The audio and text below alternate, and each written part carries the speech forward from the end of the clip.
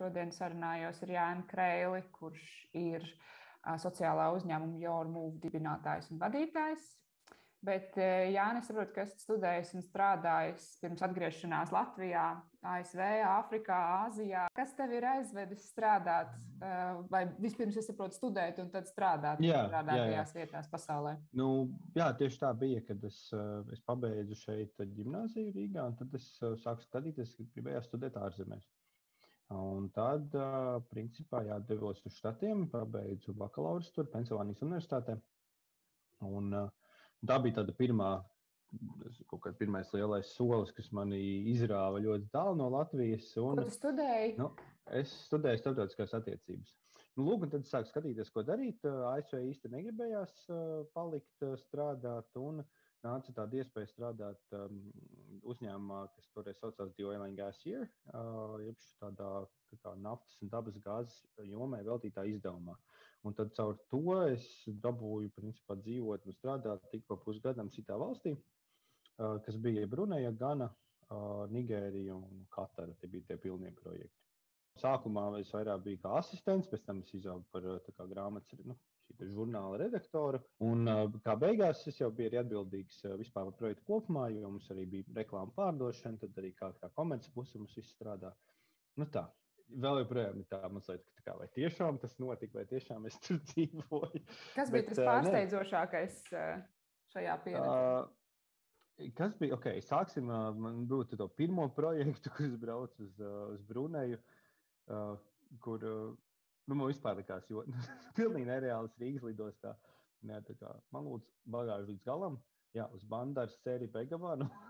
jā, ka tu pat izrunāt.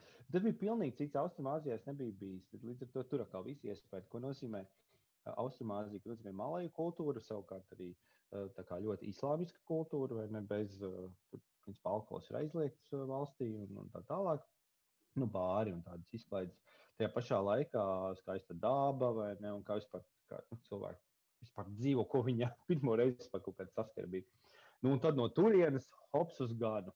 Un Ganā ir atkal pilnīgi cits. Tur ir vēsture, tur ir koloniālisma vēsture, tur ir kā, pašu, pašas ganas iekšējā vēsture, kas ir bijis arī pirms tam. Uh, tur ir ne, tās attiecības tagad, tur ir kā atšķirās. Nu, nu, kā, iemest tevi tādā Rietumā Afrikā, tu saproti, ok, mums no šejienes liekas, teiksim, nu, ka visas valstis vienādas. Tu sāc mācīties, ok, kāda ir tā kultūra šeit, kāda tur ir kaimiņos, tur Beninā, piemēram, ar ko gan atšķiras no Nigērijas. Nu, tā, ka pilnīgi no nulles tas viss bija vienkārši jāizdzīvot ar sevi.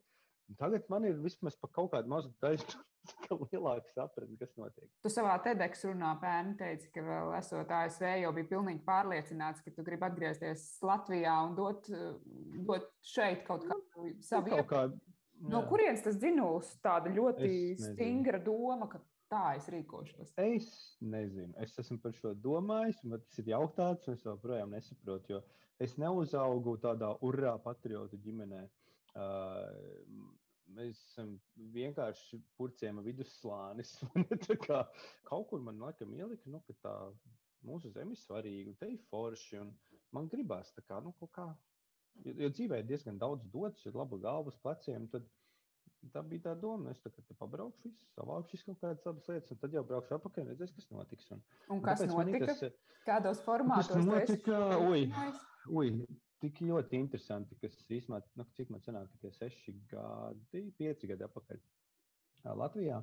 Un uh, pilnīgi negribot, tas, nu, pat ne, nevis negribot, bet nedomājot, neapzināti vienkārši šo tēmu ar emigrāciju. Sanāca tā kā iegūstināt kustību ar pasaules pieredzi Latvijā, un tad es pēkšņi atrapos, ka es vadu NVO. Es neesmu NVO cilvēks. Nu, es neesmu tas cilvēks, kas tā kā domā, nu, man būs NVO. Tagad. Bet uh, kaut, kaut kā mēs to iepinājām. Un, Nu, Turienes sanāca jautājums, ok, bet nu, kā tad darba tirgu? Un Latvijā ļoti, protams, deg darba tirgus. Nu, tā radās Jormūga. Nu, tālāk mēs tagad ar Jormūgu esam nogājuši kaut kādu labu gabalu, un patiesībā paralēli man ir jau vēl viens uzņēmums, kas jau tagad vairāk nu, kā, ar, ar plašāku mērogu tieši par, par personāla atlasi, personāla tirgu. Uh, kur es jau ceru, nu, ok, tad tas pienesums būs lielāks, kur mēs varam veidot lielu komandu Latvijā. Mēs esam ļoti agrīnā stadijā vēl. Bet... Pastāsti par Your Move. vairāk sociāls uzņēmums, darba tirgus? Kas ir tieši tā jūsu specifika? Latvijā trūks darba spēka, tajā pašā laikā ļoti daudz mums arī atgriežas Latvijā. Un nav vietas, kur savienot labus darba devējus ar šo pasaules domāšanu, pasaules talantiem, kas vai nu pārcēlās atpakaļ uz Latviju, vai, vai, vai vispār pārceļās uz Latviju. Nu, tad mēs to sākām darīt. Um, mēs to tiešām ļoti, ļoti feini, protams, līdz Covidam viss gāja tieši šādā pātrinājumā. Covidā ļoti strauji nokritās apgrozījums pāris mēnešu laikā, principā, nu, tāpēc, ka personāla joma apstājās. Varētu tā teikt, vai ne? Un, nu, mēs, ko, mēs paņēmām pauzi, un principā tagad sākam redzēt, nu, ka tāda atpūšanās tā kā notiek, bet tirgu ir ļoti liela pārmaiņa, jo ir ienācis attālinātais darbs. Līdz ar to nu, tagad skatāmies, nu, vai ne tikai mēs sākām ar emigrāciju, tad vai tagad, nezinu, teiksim, piesaistīt Latvijas uzņēmumu cilvēku, kas nepārceļās, bet pies, attālināti migrē uz Latviju. Vai tas arī skaitās, vai mēs izpildām to mērķi? Tas jautājums par, kāpēc Jormūva ir sociāls uzņēmums, kur tās sociālais aspekts ienāk visā šajā stāstā? Jā, nu, tā, mums ir sociāla misija uh, palīdzēt piesaistīt Latvijai vairāk talantu, palīdzēt atgriezties mūsējiem šeit, risināt, principā, nu, ar savu kaut kādu pienesumu, palīdzēt risināt mums šo demogrāfijas un ekonomisko jautājumu. Nu, jā, Līdz ar to arī mēs uh, kļuvām par sociālo uzņēmumu. Bet kur ir tā, tie galvenie šķēršļi, kuru tiltu trūkst, uh, lai tie cilvēki bez jūsu palīdzības satiktos?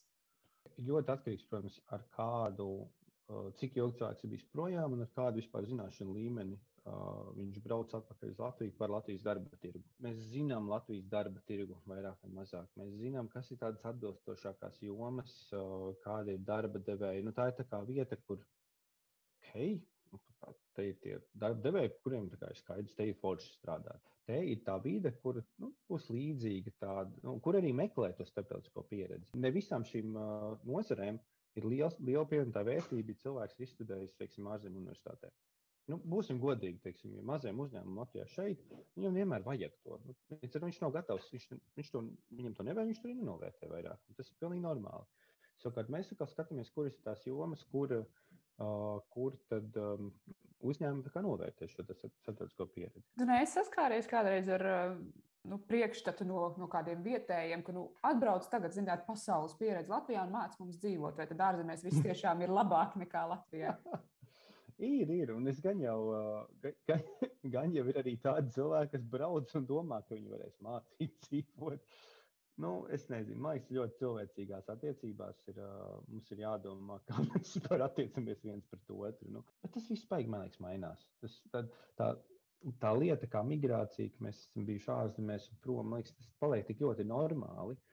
Ka, nu, tas, nu, nu, jā, bija, nu, jā, nu, daudz ir bijuši, tā kā nu, nāc strādāt. ir daudz uzņēmumu Latvijā, par kuriem ir vērts teikt, klausies šī uzņēmuma dēļ, ir vērts braukt strādāt uz Latviju. Mēs esam pasaules līmenī. Ir ko piedāvāt tiem ekspertiem? Ir ko diasporā? piedāvāt. Jā, noteikti. Es patieši par startupiem šajā brīdī teiktu. Nu, tie arī tie, kurus pats labāk pazīstu. Nezinu, nu, visi, protams, vēlreiz jāsaka, nu, kā, uh, visi runā par printful, bet nu, viņi tiešām ir līmenī. Nu, kā, un arī daudzi citi līdzīgi uzņēmumi, ļoti kā, strauji augoši, ļoti gudri cilvēki, ļoti līmenī. Uh, Un, ja tā pavēro arī mūsu šos lielos korporatīvos uzņēmumus, arī nu, jā, lielās bankas, telekomunikāciju uzņēmumi, tā tālāk. Nu, jā, tur lietas ir līmenī. es domāju, ka droši tādā ziņā.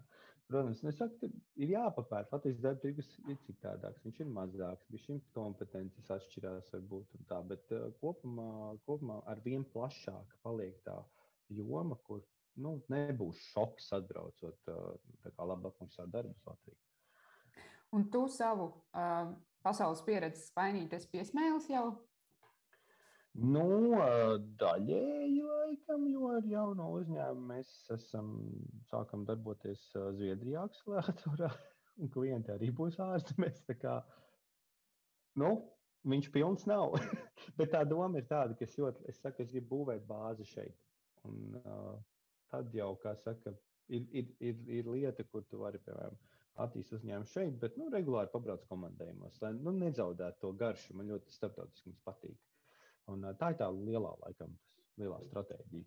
Šeit ir bāze, un tad es varu pabraukāt, padzīvoties, redzēt citas, citas pasaules vietas, bet vienmēr atgriezties mājās. Un tad es varu tikai novēlēt, lai izdodas tavs, tavs jau 11. gadā apsolītais, ka Latvijā ieguldīsi, vai ne, un, Paldies, un veiksmes darbos. Un... jā, super.